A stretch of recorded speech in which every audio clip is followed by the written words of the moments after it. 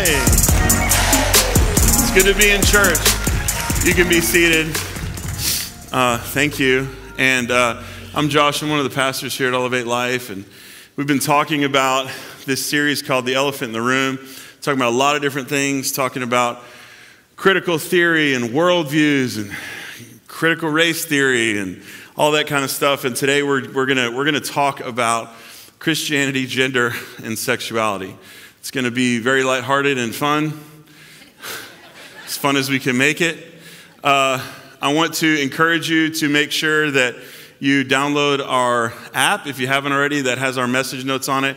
You can go to live.elevate.life. And on the YouVersion app, we actually have our notes there as well. The reason why that's important in this series is because we're talking about things that often are very difficult to talk about, highly controversial issues. Um, and I want to say something before I just fully jump in. Uh, this is, I feel like Scripture, the Bible, has been and always is counterculture. So, what we talk about a lot, of, sometimes in church, flies in the face and is very confrontational to what is cultural, cultural outside of the context of church, following Jesus' kingdom, etc. And what we talk about today is, is the same in the context of that, but I want to remind you of something before we just jump in, because we're going to jump in, and the shallow end is going to last for about 10 seconds. Then we're going to go head first.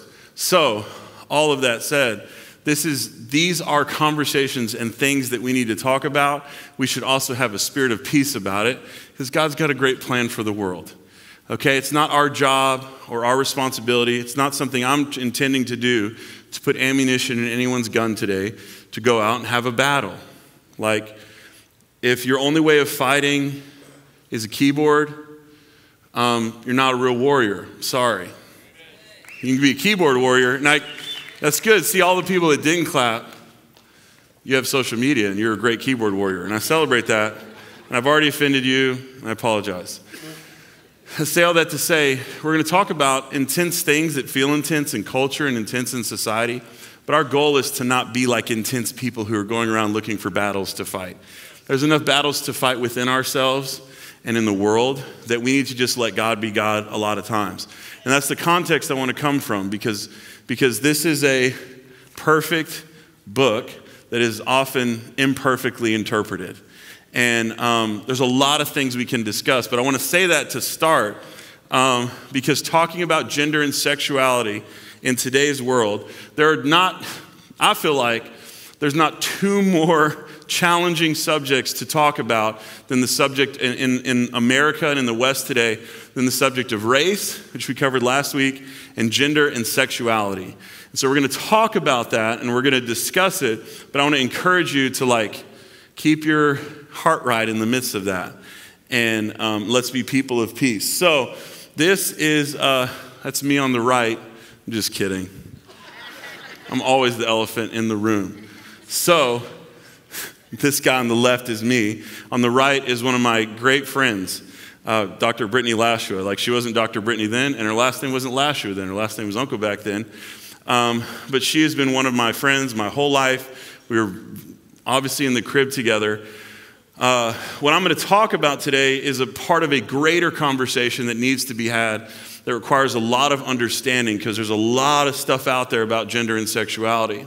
Well, Dr. Brittany is a counselor, therapist, doctor, everything, philosophy, whatever in the world. She's very smart, genius. I don't I can't even communicate what she is because that's how smart I am.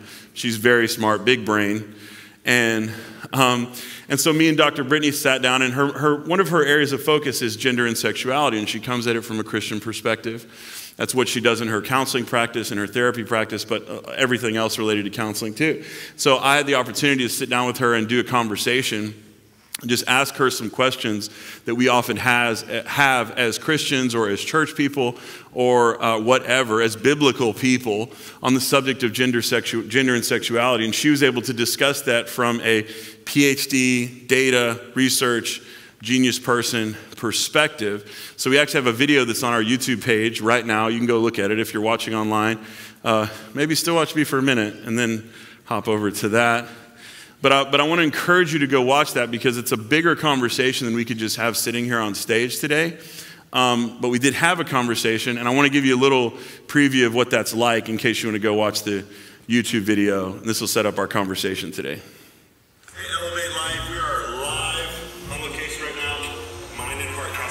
Counseling here Frisco. We're going to talk to one of my best friends in the world. Just come with me. Hey, Dr. Brittany. Love you. Thanks for letting us come to your office. Yeah, come on down. All right. So I'm sitting here with the Dr. Brittany in our church.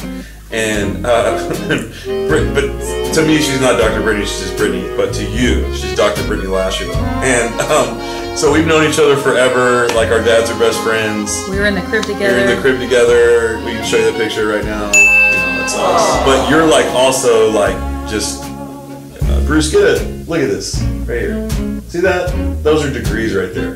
That's a doctorate of philosophy, counselor education, and supervision, all kinds of stuff. Brittany is a certified genius. I walked in her office and I was like, "You're like a legit adult, running a running a major counseling practice. Like you got counselors that work for you, all that." We're gonna talk. We're gonna just have a conversation about really the Bible and Christianity and sexuality and gender, which you really honed in on like sexuality and gender and all kinds of stuff. So People don't choose this.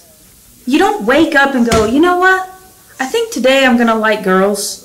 I think today I'm going to really have my parents wrestle with what this means about them Yeah. and how they feel about me and all of this. And like, oh man, now a man is never going to walk my daughter down the Mm. aisle and will she never have kids? And that's like a really big statement for some people. it is a huge because statement. because what you're saying, data points, Dr. Brittany, Christian sex therapist, counselor, everything points to that people do not choose this kind of stuff. I want you to Right. think about it. Who wakes up and says, "You know what I'm going to do? I'm going to I'm going to go against the flow." That causes so much distress. I mean, you think about teenagers, adults, whoever that come out to their family and they're terrified. They feel They're- like there's all these consequences to that. there's terrified like oh no, my pa- I know my parents they're not going to want me around anymore so if I tell them that I'm gay then I'm also like I knowing I'm that my destroying parents my are family. yeah No. who chooses that Yeah. no one. We are So wired. all the data that we can know and read and look at, like you can read the books, you can look at all this different stuff. All of that supports the fact that this is not a choice. It is not a choice. And choice. some people would say that haven't probably read the Bible, it is a choice, which is neither, it's not biblical. What we have to be careful of when we're Christians is when you look at all the data, mountains of data points to things like sexual orientation and gender not being a choice for people. well, I didn't choose to be heterosexual. Yeah. I didn't choose that. Anybody in their right mind would not choose to do something that would oust them from many circles in society. Disconnect them from relationship, Yes. destroy their family, whatever trauma that they would have to go through. Right? I don't I don't care how defiant your child is. I don't care how rebellious they are. They would not purposely choose that because we come back to attachment research. And attachment talks about how we want to be connected to our caregiver. We're wired for it. Hmm. Even in my most rebellious days with my own parents, I still wanted them to love me. So I just lost a, lot of you in the room already, and that's okay. You can't change the channel. Um, the people online, we probably lost some of them too, so I can't really speak to them anymore either.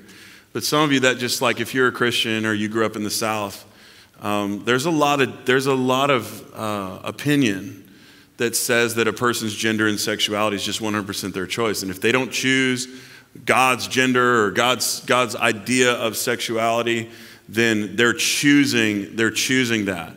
Um, and I want to say really clearly that that might be a person that might be like your opinion, man. Um, but all of the data that has been researched and done, and you can go read these things for yourself, says that a person's sexual orientation and gender is, um, is not really a choice matter for them. It's something that identifies. There's a lot of depth to that, okay? So go watch the video. It's a little preview. If you disagree with anything I'm saying or anything Dr. Brittany said, um, first of all, you need to also be a doctor before you try to set her straight. I have a film degree. I'm really easy to set straight. You're probably right. Whatever. Dr. Brittany, on the other hand, has some really great perspectives on one of the things that she mentioned that I want to say that is, is also um, uh, not, not challenging, but it's enlightening in that the way that psychologists and, and, therapists look at gender and sexuality is there's kind of these three things that we look at, right? We have what's called gender expression, we have gender orientation and, or sexual orientation, and then we have gender identity. And these three things aren't separate, they all really work together to produce a person's gender and sexuality. And so that's a lot of depth there to talk about. I encourage you to just watch the video. One of the things that Dr. Brittany recommends that I would recommend too is uh, there's a guy named Dr. Mark Yarhouse, and he is the kind of preeminent voice in Christian culture on homosexuality, gender dysphoria, all these different uh, things that we're going to talk about a little bit today. We have this book for sale actually today if you want to get it Homosexuality and the Christian. And this is from a very graceful, loving perspective. It's also not a textbook, so a person like me who has a film degree can understand it and read it. And he also has another one called Gender Dysphoria that you can get as well. And I want to recommend that to you because. Um, in life, there are certain things that we navigate, and the stuff that we listen to helps shape the way that we see the things that we navigate. And um, so I want to talk about, oh, there we go. I want to talk about critical theory and kind of critical race theory as it relates to the idea of gender and sexuality. Okay, because critical theory um, that you can read about in this book is Everyone Really Equal by uh, Robin DiAngelo and Özlem Şensoy. You can read these things for yourself in this book. On page 64 of this book right here is, um, is a chart of oppression. And one of the things that is represented in that chart of oppression is not just white men, or not just white people, not just men, not just cisgendered people, um, not just heterosexual people, but also Christianity. So, Christianity, according to, uh, again, critical theory, but also like this book right here, chapter 8 of this book, Teaching for Diversity and Social Justice. Chapter 8 is all about the oppression of, uh, of Christians and how Christians oppress people in society. And so we've been talking about critical theory, which, if you haven't been in our church, you haven't been, been in our church over the past few weeks, critical theory does two things, and I just want to summarize it really quick. Critical theory is a worldview that does two things. Number one, it splits the world into two groups of people the oppressed or the oppressor. Um, you are one or the other. Um, the second thing that critical theory attempts to do is identify all forms of oppression everywhere because oppression and oppressor is just the way society works. So there's five different ways, there's five different questions that we can ask related to our worldview. You can see that in your notes. Um, I want to talk specifically about this, this thing underneath critical race theory that you might have heard of called diversity, equity, and inclusion, and how that relates to gender and sexuality and the culture that we live in. A lot of us that are watching this, or a lot of us that are in this room, identify as Christians, and it's hard to navigate uh, dynamics with people who maybe have a different perspective on gender or sexuality than you might or I might as a Christian person, one of the things that critical theory does is it establishes the fact that truth is subjective, that facts are important, but what's more important than facts is the way that we feel about those facts. One of the things that we do in critical theory, if we apply critical theory to situations and circumstances, is we do what's called problematizing. Now, problematizing, and when something, when you hear someone talk about in our world today, when you hear someone talk about something being problematic, that word problematic carries weight to it in terms of critical theory. To problematize, to identify something as problematic, is to identify how that particular thing either upholds, reinforces, or justifies any form of oppression. Not just racism, but any form of oppression that exists. We need to look at all of these different things in the world and problematize about them. What that leads to, okay, and I'm, I'm going to give you an example that a lot of us know about, is uh, this, this, this past school year, we've had, there's six Dr. Seuss books that the Dr. Seuss, uh, um, you know, people that own his intellectual property have decided not to publish these anymore, based on a study that was done, and this is the cover sheet of the study, called The Cat is Out of the Bag Orientalism, Anti Blackness, and White Supremacy in Dr. Seuss's children books, children's books by Katie Ishizuka and Ramon Stephens.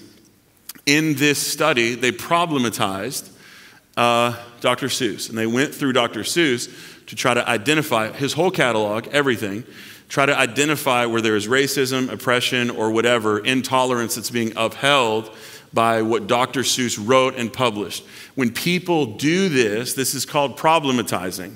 So we take something in society and we problematize it. We identify how that thing is supporting, upholding, or perpetuating or justifying not just racism, but any form of oppression that exists. And we can extend problematizing into any sort of like atmosphere or environment that we want to, to be able to identify the oppression and um, how to liberate those people who are oppressed. There's a lot of things that were said in this study that you can read. I actually quoted them in my notes, but that's what happened uh, with Dr. Seuss. So, how does that relate to us? We have salad, we got cheese fries. So, I'm a cheese fry person, which, if you've been here throughout this series, you know that if you identify as a cheese fry person, you are actively oppressed by, by salad people. Sorry, I want you to see this one because this one is the best one, this one is the worst one. The salad people actively oppress those of us who are cheese fry people. So, what we have to do as a cheese fries person is problematize salad. How do we problematize salad? We make clear all of the ways that this thing called nutrition is oppressive. And we reform the system. So if salad is deemed problematic, we get to take it off the menu. So you don't get to buy salad anymore. Some of you oppressors who are like, you need to eat a salad, look at you, you know. Stop oppressing me. It's problematic. So, problematic is kind of code switching for racism or oppression of any kind. And how should we live? According to critical theory, we have to identify, disrupt, dismantle, and remove things that are problematic in society. Because problematic means it's upholding oppression. It doesn't mean that it's a problem. Like some of us, we hear the word problematic, like, oh, that's problematic. Like it's problematic if you got a flat tire today. That's not how critical theorists define problematic. Problematic means um, that it's inherently upholding racism or some form of oppression. Why does this matter? Why am I talking to you about something being problematic? Because there are certain things, according to critical theorist thinkers, that are problematic about Christianity. And there's a whole chapter, again, in this book, chapter 8, lists the problematics that exist in Christianity, i.e., how Christianity is upholding justifying and perpetuating oppression. Not just racism, but oppression. Because one of the, this book right here, and you can look at it on, on page 64, um, one of the levels of oppression that exists in society, or a couple different levels, are sexism and heterosexism. So, sexism is oppression by cisgendered people, which means you are the gender, you identify as the gender you were assigned at birth or men against sexual minorities, transgender people, women, so on and so forth. Heterosexism is, is uh, when, you, when we oppress people that are heterosexual based on what's called heteronormativity. We'll get into that. So, there's two things related to gender and sexuality that the Bible, it makes the Bible problematic.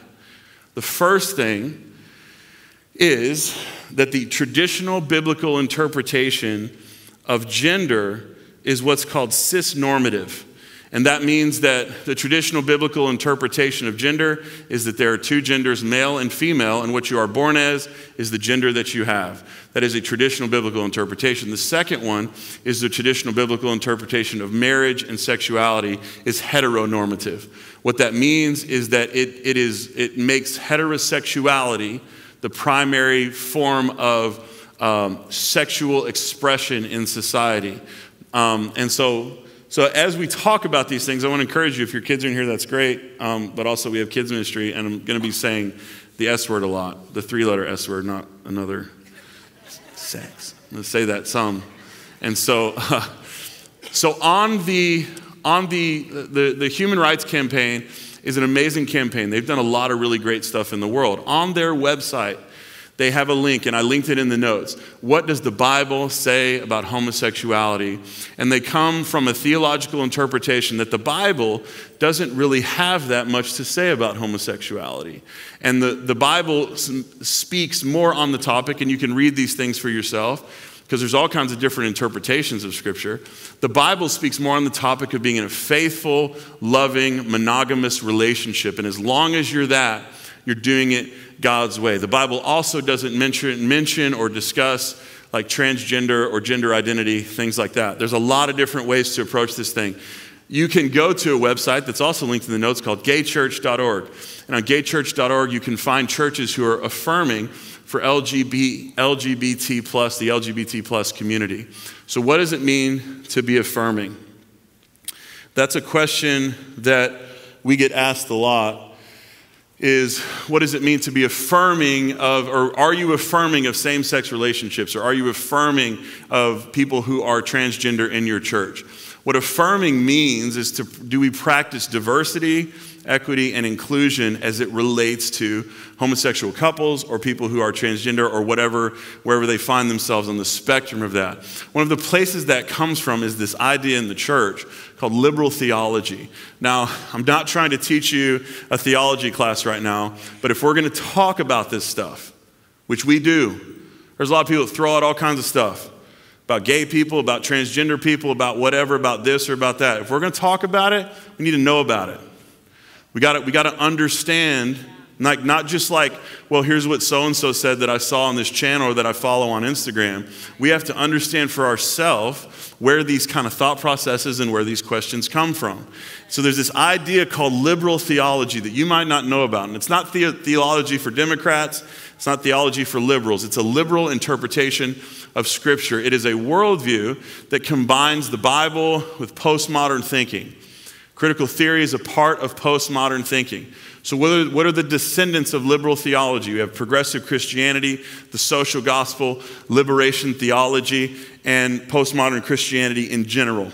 What does liberal theology say? The first thing liberal theology says is that Scripture is not infallible, inerrant, or sufficient. That the way we interpret the Bible should be based in progressive cultural movements. Remember, in critical theory, truth is subjective. Okay, which means this right here is not objective truth, but it needs to be subjectively interpreted based on what we find out in culture. Therefore, if culture accepts and validates homosexual marriage, then what we also have to do is interpret Scripture in such a way that we accept and validate that because that is the progressive movement of culture. Because Scripture is not perfect.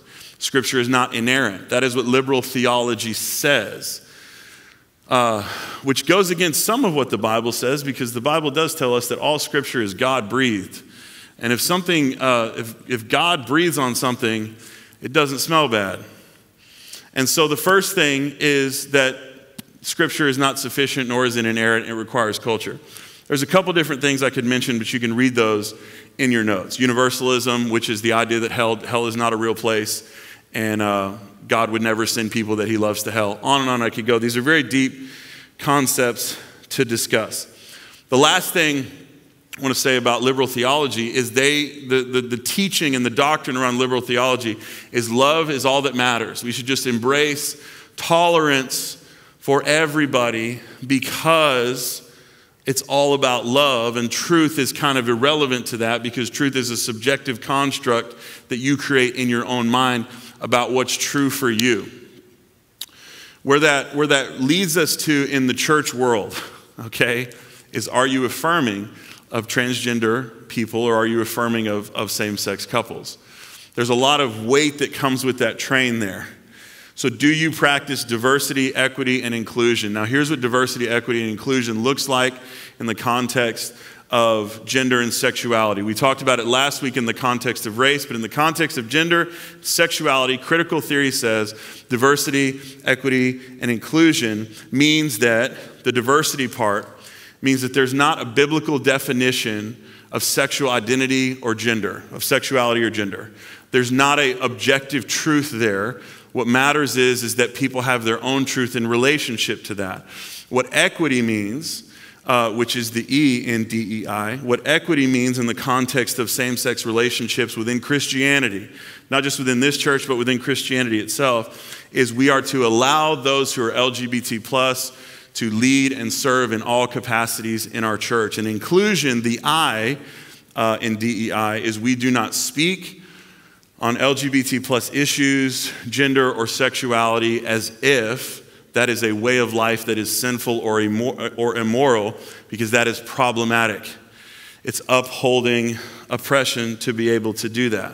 So that's the critical theory approach to gender and sexuality. And um, I want to talk about the, the kingdom approach because we've been talking about kingdom, we've been talking about critical theory. Some of you are like, where in the world is this going? I know, I understand. I want cheese fries so bad right now. So, again, this is like Let's have just just go with me. If you're like stewing on this, just just like chill for a second and then think whatever you want to think because y'all have the right to do that anyway. I'm not going to tell you what to think. I'm just trying to teach you how to think. it's important that we learn all this stuff. We read all this for ourselves and decide where we stand. So Romans chapter 1 and chapter 2 are um, really great passages of scripture related to sexuality and gender in the day in the day and age that we live in.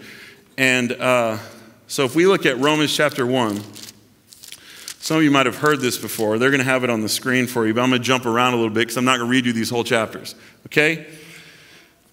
People knew God, but they wouldn't worship Him, and they began to think up foolish ideas of what God was like, and their minds became dark and confused. So God abandoned them, verse 24 of Romans chapter 1 God abandoned them to do whatever shameful things their hearts desired. As a result, they did vile and degrading things with each other's bodies. They traded the truth about God for a lie, so they worshiped and served things God created instead of the Creator Himself. That is why God abandoned them to their shameful desires. Even the women turned against the natural way to have sex and instead indulged in sex with each other. And the men, instead of having normal sexual relations with women, burned in lust for each other. Men did shameful things with other men, and as a result of this sin, they suffered within themselves the penalty that they deserved. Now, what a lot of us want to do right now, close the book on that. Move forward, sinner, going to hell, sucks to suck. Here's what the Bible goes on to say since they thought it foolish to acknowledge God, he abandoned them to their foolish thinking and let them do things that should never be done. Their lives became full of every kind of wickedness sin, greed, hate, envy, murder, quarreling, deception, malicious behavior, and gossip. They're backstabbers, haters of God, insolent, proud, and boastful. They invent new ways of sinning and they disobey their parents. Okay, dang. They refuse to understand, break their promises, are heartless, and have no mercy. They know God's justice requires that those who do these things deserve to die, yet they do them anyway. Worse yet, they encourage others to do them too. Romans chapter 2 is like the kicker for me because I'm like, yeah, get them. Go get them, Paul. Get after them. Get after those sinners. Paul says, You may think that you can condemn such people but you are just as bad and you have no excuse. Wait, hang on, bro. Like, I'm in the Jesus Club with you, Paul. Like, we both got membership cards, this whole thing. When you say they are wicked, Paul says, and you, when you say they are wicked and should be punished, you are condemning yourself. For you who judge others do these very same things. And we know that God in His justice will punish anyone who does such things. Since you judge others for doing these things, why do you think you can avoid, can't avoid God's judgment when you do the same things? There's not just one type of person that the church doesn't affirm. There's 24 plus types, I would say infinite types of people that the church cannot and does not affirm. affirm. You can see those in your notes, but I want to list some of them off just so that no one's left out of uh, the hate train here. Idolaters, people that put God above any people, people that put anything above God in their life. So if you come to church once every four to six weeks, like the typical Christian, going to hell. Homosexuals, foolish people, people who don't make good decisions. Well, I'm out right there. I'm probably an idolater too, if I'm honest. Cheese fries are, I didn't put a cross up there, I put cheese fries. Wicked people, those who do not live according to a kingdom worldview. Sinful people, people who make mistakes on purpose. Well, I'm good at that as well. Greedy people, people who think about themselves first, also me. hateful people, people who think about or treat other people bad, bad on purpose, on and on. My favorite is sin inventors. Because some of us might be like, hey, we missed the list. I didn't get mentioned in the hall of shame. And then he's like, no, some of y'all just invent ways to sin that the world hasn't seen yet. So he catches everybody. Everybody gets astray here. So what we do is we go as Christians, there's a lot of us in this room that are Christians, a lot of us that are watching that are Christians. We take certain things and we make that the stand that we stand on. We have what's called fundamental attribution error. This is a psych- psychological phenomenon that happens in our brains where we, br- we blame the circumstances of other people on their character, and we blame our, our circumstances on the things we can't control. I'll give you an example. That person is experiencing that hard thing in their life because of their choices or because they're evil. So that person's going through a hard time because they did something wrong. I'm going through a hard time because, like, everyone's against me I'm, let me say it this way I'm boastful, like I brag on myself, and I'm arrogant because no one ever notices my accomplishments. But that person's arrogant because they're just a prideful person. That's how fundamental attribution error works. We look at other people and we say, You're bad. We look at ourselves and go, Oh, the situation's just bad. So here's what we do in the church. Like we bring our humanity with us into Christianity, by the way. I don't, I don't know if you've realized that yet, but there's not none righteous, no, not one, this whole idea. So we bring that into this idea of Christianity where the truth is um, homosexuals are a minority in culture, in Western culture, transgender people even more so. And we, as some people who are heterosexual, some people who are cisgendered, whatever, look at that. And the, the honest truth is it makes us a little bit uncomfortable to see people that have that lifestyle or that come across that way or present themselves that way. It just makes us feel a little bit weird. And so, what we begin to do is elevate the weirdness that we feel as if God also feels that way. Like, you make me uncomfortable, therefore, you make God uncomfortable. That's not really what Scripture says. What Scripture says is all of these things. You're not affirmed in any sort of sin, you're not affirmed in any kind of way of living that you and I live in. Romans chapter 2 says, like, you're judging people. You're really great at judging people. Don't you know that when you judge other people, you judge yourself? So Paul's like, Hank, like, yeah, man. So here's what we do in church. Like, we read these verses, like, well, you know, they exchanged the truth of God for lie, and God gave them this, you know, unnatural attraction to other people because they're a sinner. It's like, yeah, man, but you also got a lot of stuff that's screwed up in your life too. Because Jeremiah chapter 17 says, the heart of man is deceitfully wicked. 2 Corinthians chapter 5 tells us that when we are in Christ, we are a new person.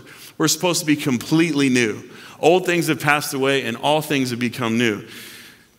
And we're sitting here navigating gender and sexuality issues that exist in our culture as if the people that navigate those things are not people. Like they're just representative of evil in some way. So, what, is, what does Jesus do with these kind of things? Because there's this, there's this inherent thing in humanity that Christians believe of like total depravity. Like we are incapable of good without God. So, in John chapter 8 in the Bible, there's a story of a woman that's caught in adultery. And they drag her out in front of Jesus. And they say, Hey, we caught, we caught this woman in the act of adultery. Now, if you're gonna catch someone in the act of adultery, like you're into some stuff, some, you know? I mean, biblically, what would have to happen? If, if someone was going to be stoned for adultery, which is a true punishment that would happen, in, in Leviticus it talks about how if a man and a woman commit adultery, they're both deserving of death. And, uh, but if a person was going to be com- convicted to die, uh, based on something that they did, they would have to have done it in the presence of two witnesses.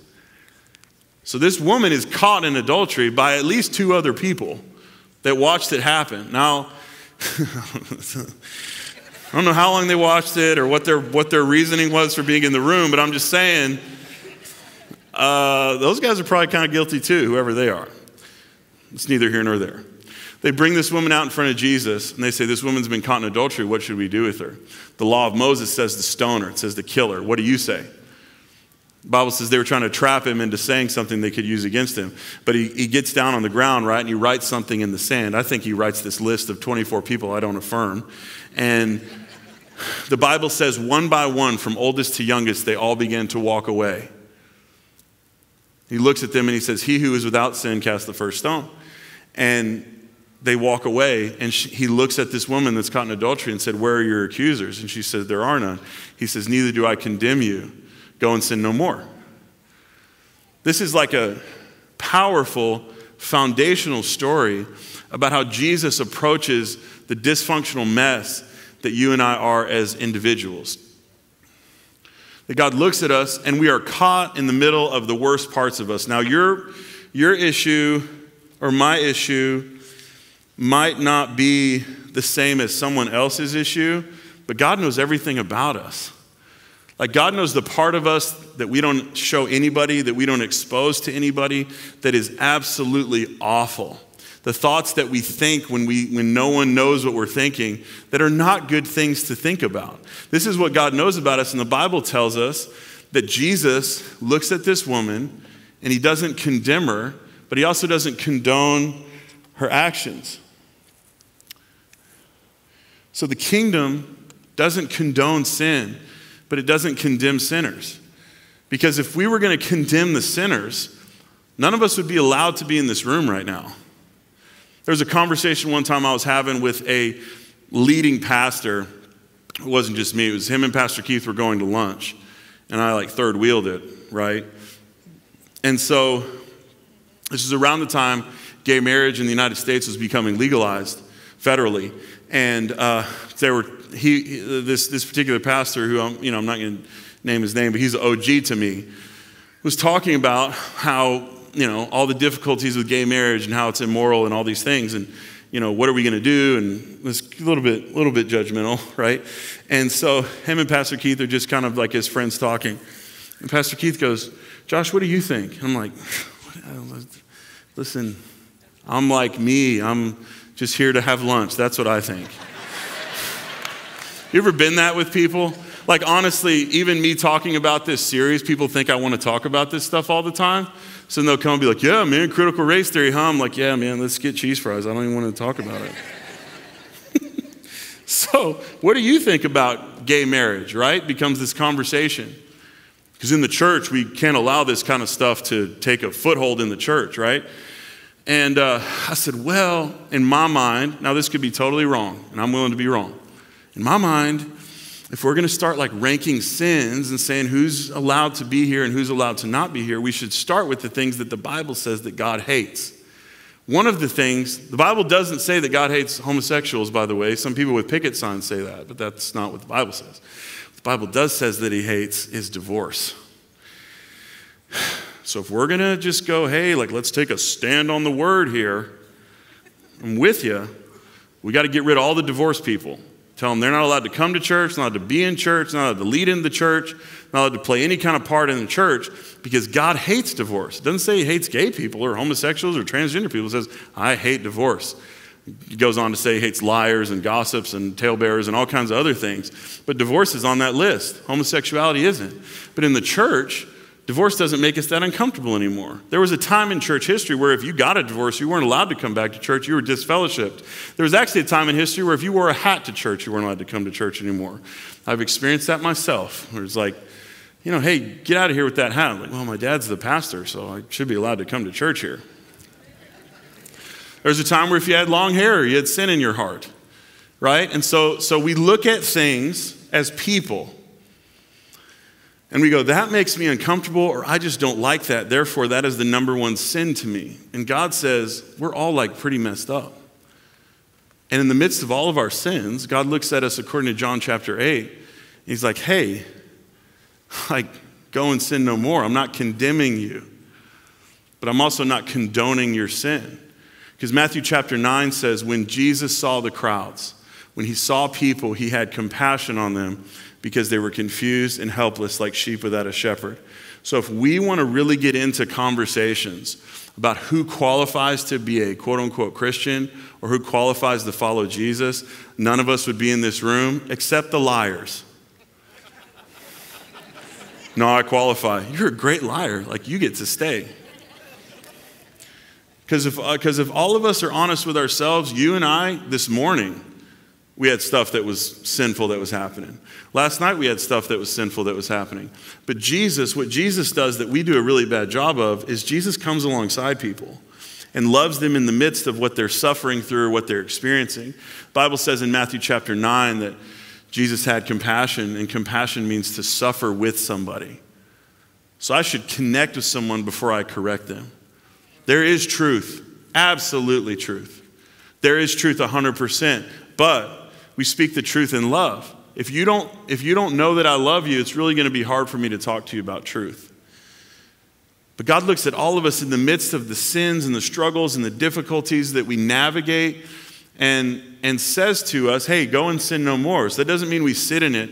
That doesn't mean we consider it acceptable because there is absolute truth here. And the absolute truth that we have to make a stand on as Christians, as Christ followers, as kingdom people is that there is a biblical definition of gender. And that de- biblical definition of gender comes with the gender that you are assigned at birth or however we want to say it. There's male and female, and that's what we're born as, and that's what God created. That's biblical. Then, then also on top of that, there's, there's the idea of, of heterosexuality versus homosexuality. But I wouldn't call that the main issue. The issue that we have is people just don't do relationships God's way. So, yeah, there's like same sex attraction and stuff like that, but there's also a whole lot of people who love to cohabitate and think that in some way that that's some kind of biblical standard to follow is not be married to somebody. Like, there is, um, yeah, so, uh, uh, right? I know, right? Like Pastor Vicky told me this morning, well, I don't think revival is going to break out after this service. I agree. I agree. Because here's the thing this is like this is like the real truth. Like, if we want to start just jacking people up for their sin, I hope you're ready to get thrown in sin jail too, because we're all, we're all, we're all there. 100%. So, does that mean, does that mean that there's not truth associated with these things? No, there's absolute truth. We stand on the truth of God's word. But at the same time, we don't forsake love in the context of that. And that's, and that's the problem that we face is not like, oh, well, how are we affirming a, a, person's sexuality? You know what people want? You heard Brittany say it. People just want to be loved. Like maybe for a second, we like pull ourselves out of this, this time where we're judging everything like it's our job. Like it's our job to just really like, to really stand with loving people. Now, that doesn't mean that we don't speak truth to people, but it does mean that the way that you and I live life is not like we're somehow better or or more moral than somebody just because we don't have the same issues as them, because all of us have a massive predilection. We have a massive desire to sin and make mistakes on purpose. So the kingdom does not condone sin. It's not like, hey, you're a sinner, it's fine. But the kingdom also doesn't condemn people because we don't wrestle against flesh and blood. We wrestle against principalities and powers and rulers of wickedness in high places. And so when we come to these, to these understandings and these dynamics of gender and sexuality in church, and in the context of Christianity, it's important that we understand the truth of God's word. Now, there's a lot of interpretations that you and I can make. I'm, I'm saying from our interpretation as Elevate Life Church, like I said, if you don't agree with this interpretation or you don't agree with this perspective, you can go online and find a church that agrees with your theology. You're welcome to do that. I cannot tell you that that's our theology here or that it ever will be because the way that we see it, is that all of this comes down to the broken, fallen nature of man, that what's in our hearts is inherently wrong. So that includes the things that we're attracted to. That includes the things that we're tempted by. That includes any sin that you and I navigate and, and, deal with. And you might say, well, that's not, I don't really deal with that kind of sin. Well, the Bible says if you and I have ever looked, looked at a woman or a person with lust in our heart, we have committed adultery. So we're all adulterers. Maybe because you haven't looked at women, but you looked at men or whatever it is that you looked at and had lust in your heart towards it. That's, that's what Jesus says. But then he goes, hey, there's a better way forward. Because what God wants us to do is be completely new. So, yes, there is biblical truth as it relates to gender, male and female. He created them. Yes, there is biblical truth as it relates to sexuality and marriage. Absolutely. And we completely stand on that. But the other, the, the, the thing we also stand on is that 2 Corinthians chapter 5 says that God wants us to be completely new. And we don't get to bring anything with us that we were before. And we shouldn't. In Christ, you're a new creation. Old things are gone and all things have passed away. That includes our attractions, that includes our orientations, that includes how we feel about certain things, that includes our bitterness and our rage and our unforgiveness and the things that are in our heart that we're still stewing about, the stories that we still tell people about what that person did wrong to us. All of that is supposed to be left where we left it whenever we got right with Jesus. We had baptisms this morning. Baptisms represent the death of the person you and I were before we came to Jesus. That's the point of baptism to show that. Now, how many of us are really doing that? How many of us are really leaving our old life completely behind and going, Jesus, I want to be completely new. I want to be a completely different person. Because a person who struggles with same sex attraction or a person who navigates their gender identity um, in, a, in, a, in a deep way might not be an issue that you have, but I promise you got plenty of them. And God's like, hey, maybe don't focus on like that person's, you know, because you don't even have uh, really great control of yourself. So, what is, what is kingdom heart transformation? We've been talking about that in this series. This is what we need to focus on. That yes, there's God's word, there, there's the objective truth of Scripture as it relates to these, these issues that we're navigating through gender, sexuality, so on and so forth. All of that. We need to unite around the idea and the belief that Jesus is the cornerstone of everything. Everything in life comes back to living like him. But then we have to honor people. Like we have to be people that like respect and celebrate and benefit from the uniqueness of each person's fingerprint. That means that we have a unique relationship, all of us as people, we have a unique relationship to sin and temptation in our life. And to honor that means, hey man, like you're on your journey. You know, I want to be a friend to you and I want to love you and let God work on you. But also, if I love you, I'm going to also speak truth to you because it's about unity. Then reconciliation, that we exchange hate for love and evil for good. We reconcile people to God and to ourselves.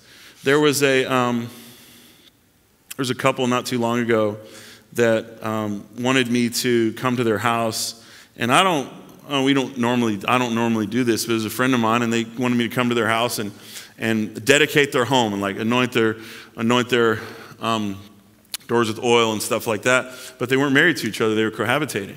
So I had a conversation with this person. I said, Look, I love you. You're my friend, but also you're not doing it God's way. So it's really hard for God to bless something that you're not doing His way. Therefore, it's, I, you can bless your house as much as you want, but I can't come as a quote unquote representative of God's way and go, Hey, it's okay that you're not doing it God's way because God's going to bless it anyway. This is how life works. Like, we can't get outside of God's design for relationship and identity and think that God's hand is on that. And that's the problem with things like critical theory or things like liberal theology that we begin to apply. Is like, hey, it's good. God's happy with it all. No, God's not happy with anything. Your heart is deceitfully wicked. Jesus wants us to be totally new. God doesn't want us to be the way that we are. Yeah, He made us the way He made us, but also it's like, hey, stop being that way because you're messing the whole thing up. You're messing the whole world up, world up with your bitterness and your anger and your rage and the stuff that you constantly have to deal with and go around the mountain on. Maybe we can let the Holy Spirit just do His work in our lives if we're willing to submit ourselves to that. That's ultimately what God wants. And so there's parts of us, there's parts of all of us that we really don't want to submit to God because that means I got to let it go. It's really hard to submit to God the idea of forgiving someone that you think is unforgivable. It's really hard to submit to God something as deep as our gender identity or our sexuality when we feel like it's so much a part of who I am as a person.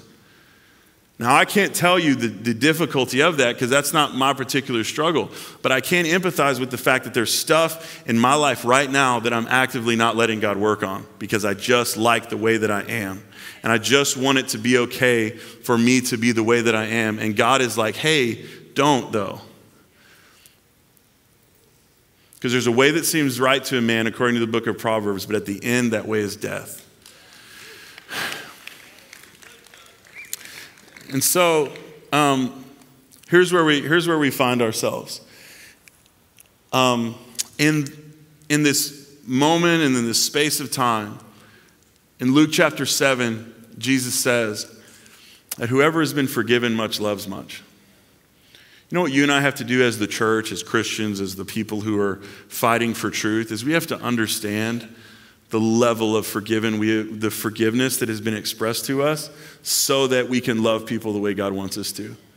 Because while I was dead in my trespasses, the Bible says, like while I was at the lowest of the low.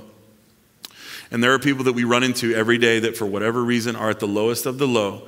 While I was at the lowest of the low, Jesus Christ died for me. And he forgave me and He loves me and He wants me to move forward.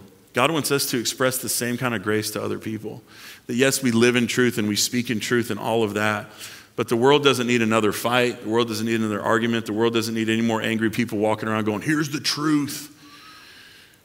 We need people who are just willing to like connect with people and sit with them and navigate the difficulty of their life. So if you're a person in this room, you're watching online, whatever, and you navigate you know, maybe you, you feel like you're transgender. Maybe you navigate same sex attraction. Maybe you're currently in a homosexual relationship. Maybe you're in a, in a gay marriage. All of that. This is a great church to be a part of. Not because we agree with you, but because we're going to love you. And we're going to be for you absolutely no matter what. We want you to win in life. We don't agree with we don't agree with anybody's sin. We don't agree with someone cohabitating. We don't agree with people being alcoholics. We don't agree with people being bitter and angry and jealous and definitely don't agree with them inventing new ways to sin because it seems like we got plenty. But the church is the people of God acting like God. And to act like God means that we walk in grace and truth. We speak the truth in love. So as long as you're willing to be challenged, this is your church to come to. Like if you're wanting to be okay with just being okay, you know, find somewhere else. It's fine. It's good. We love you. A lot of people have found something else. But the opportunity that God gives us is to lay aside, in, at any point in our life, to lay aside everything about us that doesn't work. Because the ways about us that are just the way that we are do not work absolutely. And yes, attractions, sexuality, and identity, and all this different stuff might not be a choice. Let me tell you the most powerful thing that you have in your life. I've heard Pastor Keith teach this a lot. Most powerful thing you have in your life is the ability to choose. Now, that doesn't mean, hey, let's all go choose our gender, let's choose the right gender today. What it does mean is we have the power to choose God's way. God's way. We have the power to put to death the old version of ourselves. We have the power to lay down the things about us that don't work, no matter what that is, and move forward and know that God's for us and God's on our side and God is going to work in our life the way He wants to work in our life as long as we submit ourselves to Him completely and totally. Not bring this stuff with us into this. This is sufficient. God's power is sufficient in our life to work on whatever we need to work on. And yes, if you want to talk about the lifelong process, this is the lifelong process. But it's got to start somewhere. I want to ask you to just bow your heads and close your eyes with me. I know this has been a different series, it's been a different service today. But it's time to, maybe for you, make an intentional intellectual decision. Pastor Vicky said, maybe revival's not going to break out today.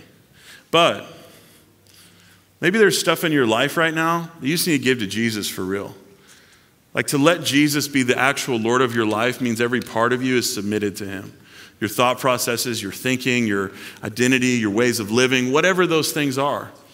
We're not here to condemn you as a church. The Bible says in Romans that the goodness of God leads people to repentance. You know what the goodness of God is? Is that while you're in the midst of whatever you you and I are in the midst of, God's just sitting right there loving us. And where it starts is by choosing to let Jesus be Lord of our life. We've been talking about kingdom. This is a kingdom with a ruler who's not us. And it, it, means that we come under submission of his rule in every area of our life. So you might have walked in here today knowing that you need to make Jesus Christ the Lord of your life. And we're going to give you an opportunity. With every head bowed and every eye closed, whether you're in this room or watching online, want you to pray this prayer and repeat after me, everybody. Say, Dear Jesus, Thank you for loving me. Thank you for your forgiveness. I repent. I purpose to be a new person in you. I choose to follow Jesus. In your name I pray. Amen. Can we go, those people that made that decision, a big hand, elevate life? And um, we're here to love you and serve you as a church, not, not judge you. We're here to do life with you. And, um, and let us do that. Let us surround you. If you're in this room, or even if you're watching online, our number is 972 945 9772. You can text us. We want to text you, we want to pray with you, we want to help you in your life. Whatever it is that we can do for you, just please let us know. If you're brand new and um, you, you, you, haven't gotten connected yet, you want to get connected, make sure you come to the Welcome Lounge after this service and say hey to us. And uh, do something fun today, too, because I know this is like, dang, man. Next week's the last week, and then guess what? Pastor Keith's back. It's going to be awesome. We're to have a great time. The possible life is coming soon.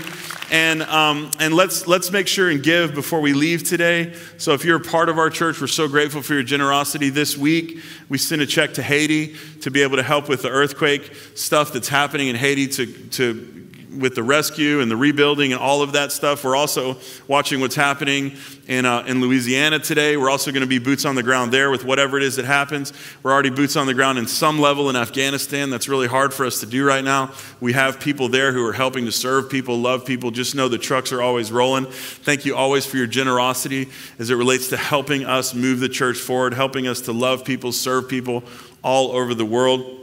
If you're brand new at Elevate Life, don't feel any pressure to give. Your gift to us is just that you're here today. We're really glad that you joined us for church. But those of us who call Elevate Life our home church are privileged to watch what God does through our generosity. Yeah, who claps for offering? We do.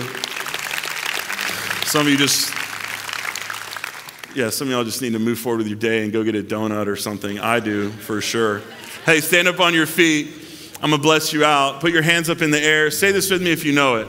May the Lord bless you and keep you. May he make his face to shine upon you. May you know that if God is for you, then who can be against you? If God is on your side, then whom shall you fear? May you be like a tree that's planted by rivers of living water, that your leaf will not wither.